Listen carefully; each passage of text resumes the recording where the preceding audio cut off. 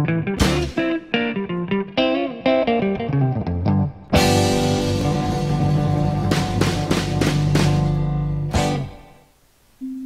回はですねサウンドソウルさんの方から商品が送られてきましたのでその商品のご紹介をさせていただきたいと思います。その商品はこちらです。サウンドソウルさんのイヤホンではなくアロマディフューザーです。アロマディフューザーということであのー、アロマテラピーですね。アロマオイルエッセンシャルオイルをですね温めてそしてまあ普通の場合だと、えー、エッセンシャルオイルアロマオイルをですね、えー、水の中に数滴入れて温めてまあろうそくなどを使ってですねそして、えー、蒸発させてアロマオイルエッセンシャルオイルを匂わすというものになるんですけれどもこちらは超音波式のですねアロマディフューザーということになります。本体とですね AC アダプター取扱説明書。残念ながら英語でございます。付属品として水を入れるためのカップがついてきています。そして容量的にもですね 180ml ということでこんなにちっちゃいのに 180ml も買えるということで、えー、とりあえず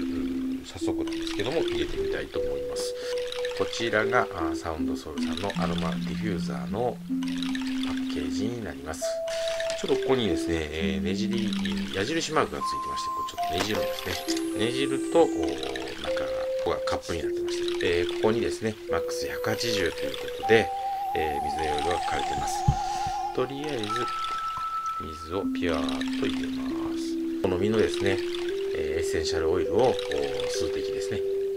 えー、2、3滴、3滴から4滴、5滴、まあちょっと水の量によるかもしれませんけども、入れていただいて、そしてまたこちらをですね、矢印が青いきちり矢印に締めました、えー、こちら側の方がライトスイッチ。こちら側がミストスイッチという風になっています。こちらのミストボタンをですね、えー、これ一回押したらダメなんですね。あの長押しですね。はい。長押しをするとオンになります。これタイマーがついてるんですね。でですねこれをポチッと一度押すとですね180分のタイマー設定になります。そしてもう一回押すと120分のタイマー設定になります。そしてもう一度押すと60分のタイマー設定になります。そして次はオフという風になります。なのでランプとミストとミスト長押しですね。はい。組み合わせてあランプとしてですね、使うこともできるというアロマディフューザーということになります。綺麗ですね。このコンパクトさがとてもいいですね、はい、ですからまああのー、特に影響がなければですね会社のデスクとかに置いてもですねちょうどいいぐらいのサイズです。なのにあの 180ml という量をですね入れることができるということに白で統一されて清潔感があってなかなかあのいいんじゃないかなと思います。もう本当にちっちゃいあの LED の枕元ランプということで、まあ、こういう明かりを見ながら今こうエッセンシャルオイルをですね香るということで、えー、リフレッシュをしたり癒されたりっていうようなことに活用することができるんじゃないでしょうか。これあのーまず1回押しの時はですね自動的に色が変わってくれます。そして2回目押した時にはその色で一旦止まります。3回目押した時にはですね順送りで色が選べるようになります。そして一番最初は赤で明るい赤。そしてちょっと暗くなった赤でそして次の色の明るい版。そして暗い版。また次の色の明るい版暗い版。明るい版暗い版明るい版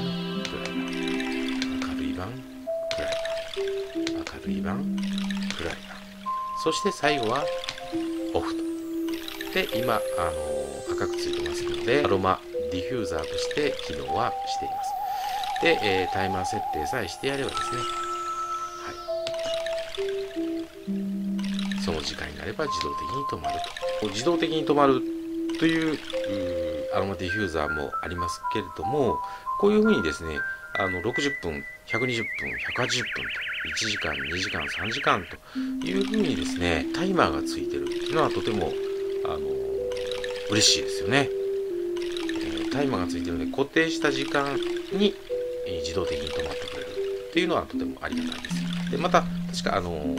水がなくなればその場合も自動的に停止するということだそうですので安心して使えると思います。そして色の選択肢が自分で選ぶ場合の色の数がかなり多いのでなかなかあこういう商品アロマディフューザーの中でですね、えー、こういう色を LED ランプとしてもいろんな色を使えて明るさも選べてっていう商品はなかなかないんじゃないでしょうか。今回はサウンドソウルさんのアロマディフューザーのご紹介でした。それではまたご覧ください。さよなら。